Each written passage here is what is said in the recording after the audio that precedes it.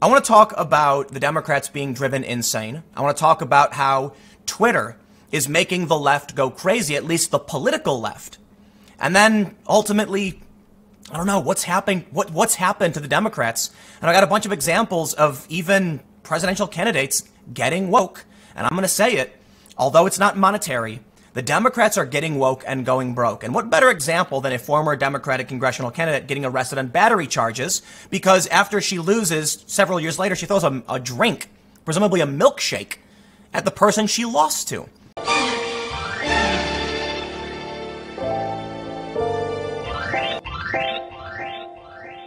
Welcome back, Andrew says. Remember, I wouldn't lie to you, except for maybe this once. I came to a realization after watching all the DNC debates and everything that it's sort of like a circle of life. It's a circle of things that we say we're going to do and don't actually do just so everybody can feel good. It's progressive media with no real substance, and that sort of feeds the viewers. And then the viewers demand certain things of the candidates. They demand, like, the health care, the immigration reform, the I don't know what else, the refugees. I don't really know what else they're promising other than free things. And then, well, of course, the identity politics. They're demanding that. So the politicians put this identity politics and these new socialist things at the forefront of their campaigns, and they put these platitudes over their policy. And of course, nothing ever gets done. And then they wonder why people leave for more right wing or more left wing stuff. And you saw it all day in the DNC debates. You saw it. And it makes you wonder who who are they playing towards? So this is how I think the votership breaks down for them. The viewers, the viewers of this stuff are woke teenagers You can't vote, okay? They want the radical environmentalist change. They want the radical healthcare change. They want all this stuff to change seemingly overnight or else the world's going to come to an end. You've got the passing viewers of entertainment who may or may not vote, but they're watching the SNLs, they're watching Vox and BuzzFeed and stuff, and they don't really care about politics, but it's been injected so much forcefully into the entertainment that uh, they've developed some of these views. And then there's people who believe in the surface arguments. They're the people who are watching CNN, MSNBC, and maybe some some of their favorite Elizabeth Warrens and stuff like that. And they're seeing them um, give these arguments that the politicians know they're not going to do, but they're they're saying it to, you know, appease the viewers, and then you have the last legitimate voters. That's the last section. The legitimate voters who actually do want to see these things done over time. Maybe they want to switch to green energy slowly, or they think that the U.S. economy can handle uh, subsidized healthcare and, and free tuition and things like that. Those are the people you want to speak to, but everybody else is just free college, free everything. You know, they're going Oprah at them.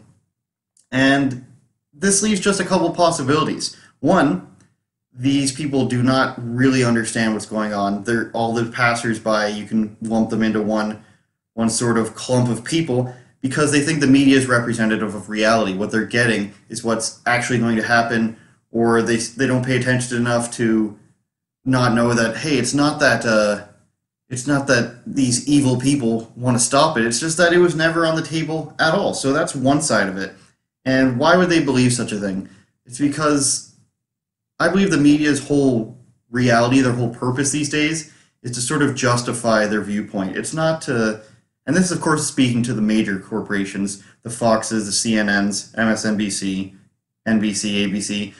Their job is no longer to show you what the news is. Their job is to justify their ideas and make it seem as if their ideas are the overwhelming majority. So we're just battling against the enemy here.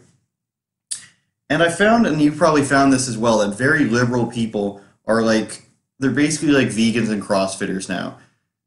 They need you to know, they need to push this into every every facet of life that they can. They need you to know who they are. They need you to know that they hate Trump or how terrible the police are, and they're so in their social media bubble or their social bubble that they think everyone agrees with them.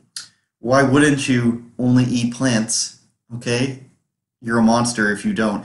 Not knowing that, okay, plants can think and feel as well, scientifically proven.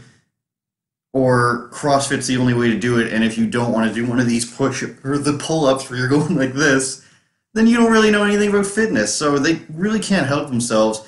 And these people are part of the audience that are believing these surface arguments, and they can't understand why anybody else would disagree with them. And it's causing people to go insane and act very violent, and it's getting worse and worse because they think that, I don't know, fascism is really on the rise in America and beating up Nazis is a real thing, and they think this is a popular and trendy thing to do because they're seeing, they're not seeing anyone uh, disavow it. They're not seeing anyone say, hey, no, there isn't this fascism. It's, uh, yes, white nationalism and fascism and totalitarianism. Totalitarian, yeah, they're on the rise. And by the way, the world's ending in 12 years if we don't do anything about climate change.